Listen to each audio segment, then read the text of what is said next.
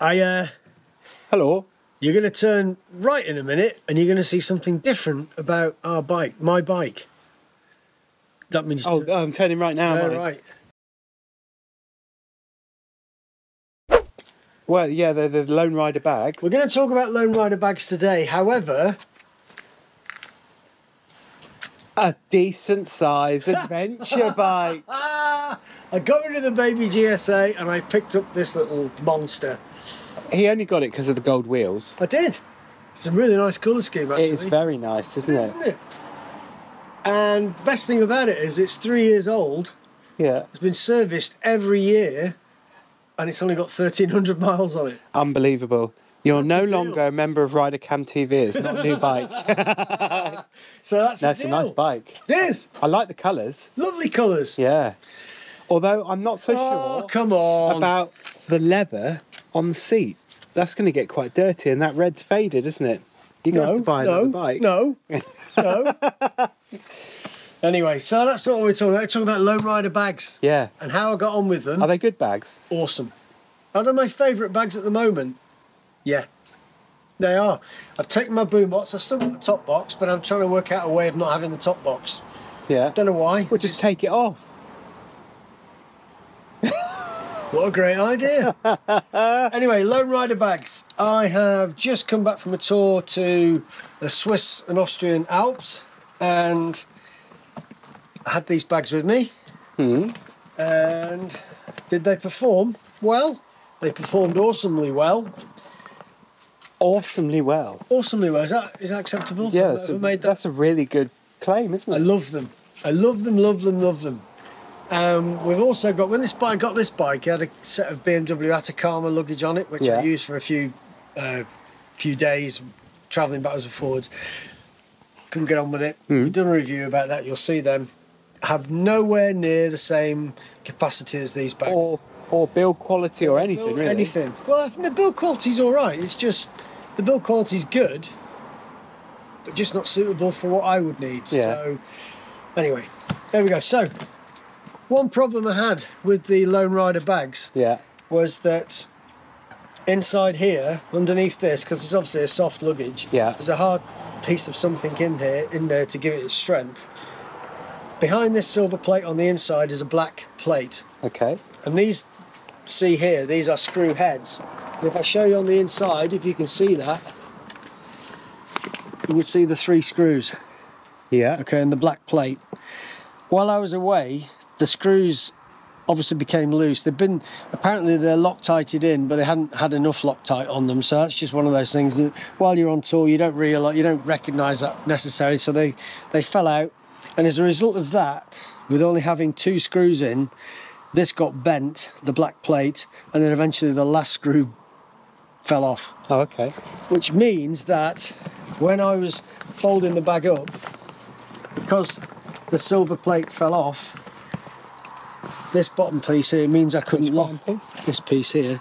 Yeah. Okay, I couldn't actually lock physically Oh, close and that's the why bag it started bending. and is lock it.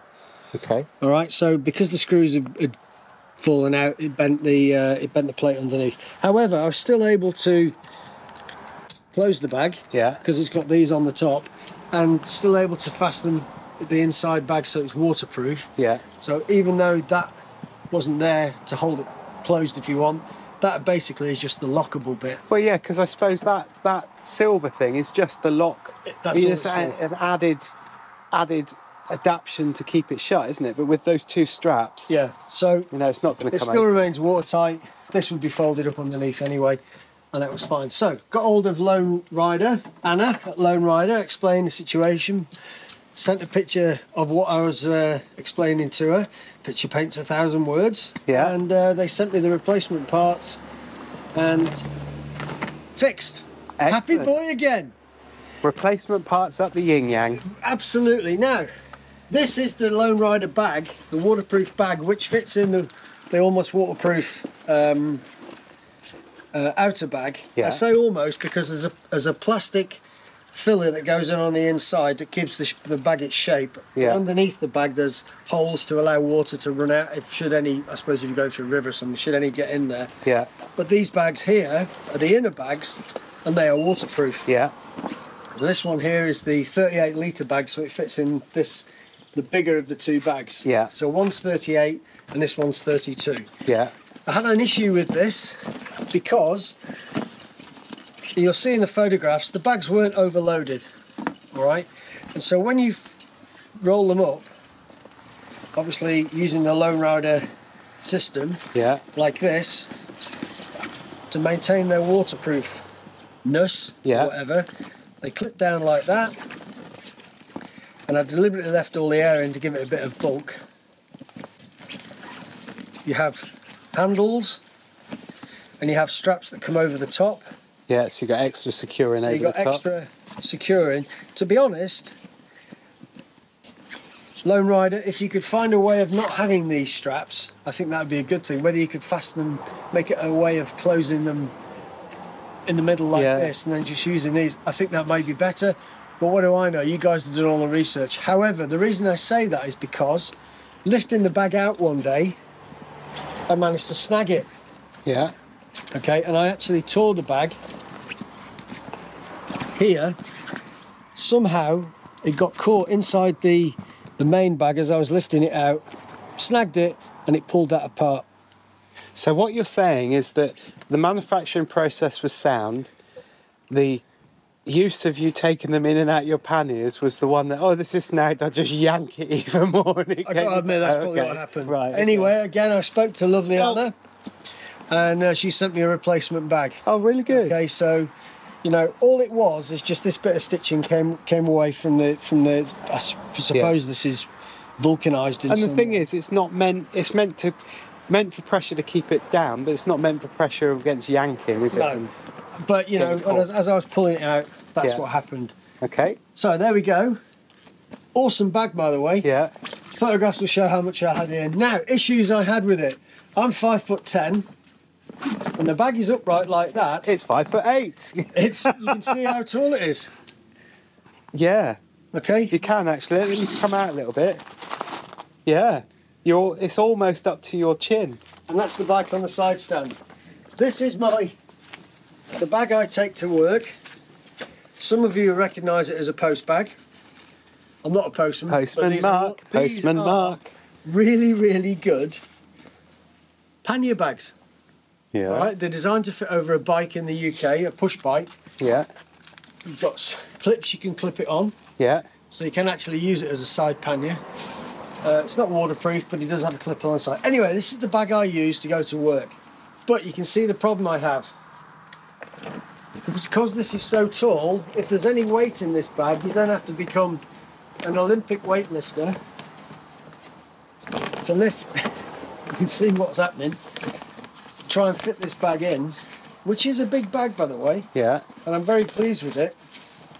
The point I'm trying to make is you've got to lift it that high to get it into that bag, but then it just disappears inside. I mean, it's a It's cavernous, isn't it? It's cavernous. You get a small child in there. You can do. There is one.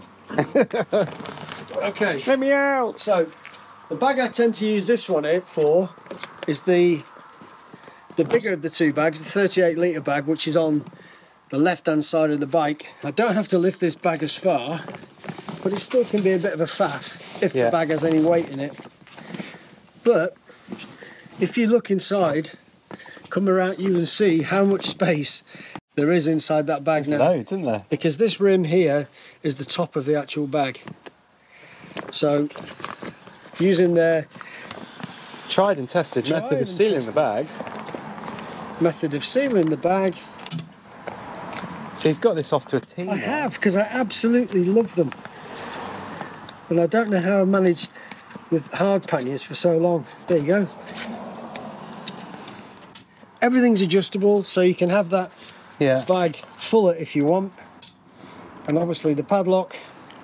See, that's for me. That's the bit that I don't necessarily like is having a padlock. I like to be able to just have a key, and the padlock seems a bit cumbersome for me. But that, you know, it's a personal choice, isn't it? It is, and I'll be honest, I don't leave anything in there that, you know, if, if it's somebody steals it, it's, it's not going to worry me. And I was thinking about just getting a carabiner, you know, just as a secure, Yeah. just to secure it, not necessarily have the padlock. But while it's there, I'll, I'll use it. I don't And they're good padlocks, to be fair. They're cracking padlocks. combination padlock. You set the combination, so it's really easy. And that's the bag.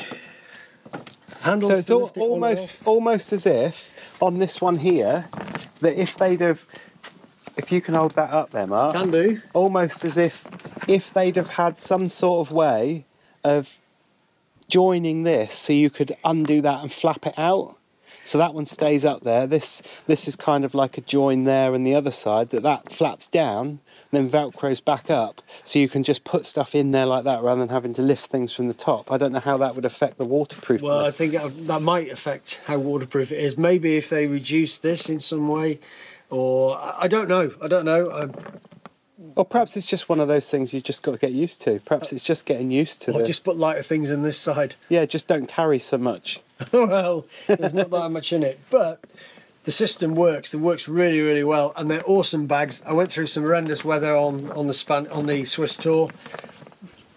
There was water trapped inside the top of the bag when I lifted Yeah. it because you know water gets in everywhere, doesn't it? yeah But actual water ingress inside the bag there was none at all. wow Um, and then you've so you've got the waterproof inner bag, okay, which is fine.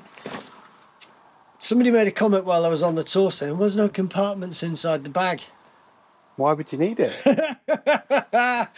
My point exactly, you know, just everything gets rolled up and pushed in anyway. So the way I work my on my tours is this is the smaller pannier. I've got a computer in here and bits and pieces, paperwork, and, Yeah. and you know stuff I'm never not necessarily going to use all the time. And this one here, the bag is not much fuller than that normally, even on a long tour, three weeks. You know, and that's what fits inside. There. Well, and the thing about those red bags is that they hold their shape yes. so that you can pack them. So rather than them being round bags that you're putting in a square hole, they're square bags when they're stood up and you're packing them, aren't they? So Yep. it makes it easier. It's almost like having a metal pannier that goes inside another metal pannier. exactly. So this is empty when I'm touring, Yeah, mine is too, just for the helmet on. and you know, a bit of paperwork if I need it. Well, you know, I, I use the, the um, top box primarily to take an overnight bag for the ferry. So I leave everything on the bike if it's an overnight ferry. That top box has my helmet and gloves in, so I'm ready to go first thing in the morning. I take my bag out, go up to the cabin, get changed, come back, switch it, switch it all over. Next morning, ready to go. What's an insight into the living habits of Toby on a, t- on a bike tour? Oh yeah. there you go. So, my bag is actually not much fuller, fuller than that, so I don't mind taking it. Yeah, yeah. Lone Rider bags. Love them, love them, love them. Do they work? Amazingly well. Will they last? We've had them now for a couple of months and uh, got tour coming up to Croatia, which will have a mixture of cold weather, hot weather, rain, and all the rest of it in uh, a couple of weeks' time. So we'll see how we get on with there. But I am very, very confident that these perform well. Mm, they they do look nice bags. Loads of comments re- people. really Loads do look nice bags. When I was on tour saying, oh, how are they performing? Love them. And they were saying, you know, oh, I'd love to get something like that. Definitely better than the OEM BMW boxes. Yeah. I think. Well, the OEM boxes are really thin, and the the lid is good. You can open it both sides, but then they get taken by the wind. They're really sharp. You've got to watch your hands. That's Hugely why I have expensive. Boomot. Boom up. Yeah. And by the way, just before we go, have a look at this bad boy, Magellan Motorcycle Tours. Hundred pound off any tour that you want to go with the code uh, that's on our website. It'll, it'll be in the description. you can't remember yeah. it. Hundred quid. It's not bad, is it? Yep, that's worth doing. Yeah. So, if you like the video, give us a thumbs up. We love Lone Rider bags. They're not sponsoring us. This is an honest review. Rips and tears and snags and all the rest of it. And we'll see you soon.